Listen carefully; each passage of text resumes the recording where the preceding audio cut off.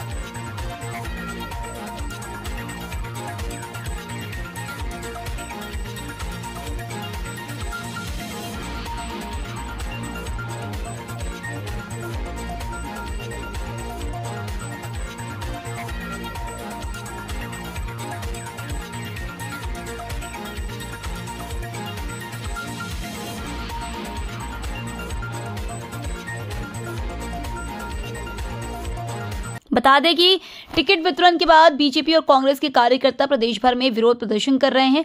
भोपाल, दक्षिण पश्चिम में भाजपा कार्यकर्ताओं ने भगवान दास सबनानी का विरोध किया है। पूर्व मंत्री उमाशंकर गुप्ता को टिकट दिलाने पर अड़े हैं। भाजपा प्रदेश अध्यक्ष से मिलकर टिकट बदलने की मांग की है। टिकट नहीं बदलने पर सामूहिक इस्तीफा देने की चेतावनी भी गुप्ता के समर्थकों ने दी है। वहीं मुरली मोरवाल के साथ आए समर्थकों ने खुद के ऊपर पेट्रोल डालकर आत्महत्या की कोशिश भी की। पुलिस द्वारा रोके जाने के बाद मुरली मोरवाल समर्थकों ने कमलनाथ के निवास के गेट पर टायर जलाकर विरोध प्रदर्शन किया। पीसीसी कार्यालय पर भी लगातार हंगामा जारी रहा। वहीं निवाड़ी के कांग्रेस कार्यकर्ताओं ने कार्यालय घेर लिया और निवाड़ी का टिकट बदलने मिलने की मांग करते रहे भाजपा और कांग्रेस दोनों ही पार्टियाँ इन विरोध प्रदर्शन से परेशान है। देखना यह है कि किस तरह से विरोध प्रदर्शन काबू में आएगा। न्यूज़ सिक्सटी नाइन के लिए भोपाल से आदिल खान की रिपोर्ट। हाँ नाम बता दीजिए पहले तो। जी मेरा नाम अज्जू खान है जिला सचिव हूँ मैं निवाड़ी विधानसभा क्षेत्र छियालीस से। वहाँ पर जो टिकट वितरण का खेल हुआ है वो रातों रात हुआ है। वहाँ पर विगत सात आठ वर्षों से रजनीश पटेरिया जो कांग्रेस की पीसीसी सदस्य होके काम कर रहे थे माननीय माननीय कमलनाथ जी के जो आज दिशा निर्देश दिए गए थे, उनका पालन करते हुए तीस हज़ार नारी सम्मान के उन्होंने फार्म भरे। साढ़े बारह सौ किलोमीटर की पद यात्रा निकाली थी जो उन्होंने राहुल गांधी की पदयात्रा से प्रेरित होकर। और घर घर तक उन्होंने कांग्रेस का संदेश पहुँचाया जो 20 सालों से कभी भी निवाड़ी विधानसभा कांग्रेस नहीं जीत पाई है। उन्होंने घर घर जाके कांग्रेस की अलग जगाई है, लेकिन यहाँ पर पैसा देकर, रिश्वत लेकर और टिकट अमित राय को दिया गया है, जो एक भाजपा का जिला उपाध्यक्ष है। न जो कभी कांग्रेस में रहा है, न उनका जो माता जी है जो जिला पंचायत अध्यक्ष हैं वो भाजपा से हैं और रजनीश पटेरिया ने निरंतर कांग्रेस को जिताने का प्रयास किया है। पूरी विधानसभा में लोगों के घर घर जाकर काम किया है और रजनीश पटेरिया को टिकट मिलना चाहिए उनके साथ अन्याय हुआ है। मुकेश कुमार यादव जिला महासचिव निवाड़ी। निवाड़ी विधानसभा में एक टिकट इतनी बुरी तरह से दे दिया गया कि जिसका हम लोग विरोध करने यहाँ आए हैं। खनिज माफिया जिसपे अभी छप्पन करोड़ का घोटाले का आरोप लगा था, जो अभी केस चल रहा है, उसी को रातों रात टिकट दे दिया गया, जो बीजेपी में बराबर रात रात जिस दिन टिकट दे दिया गया, उन्नीस तारीख को रात नौ बजे तक उसने कोई सदस्यता कांग्रेस में नहीं ली।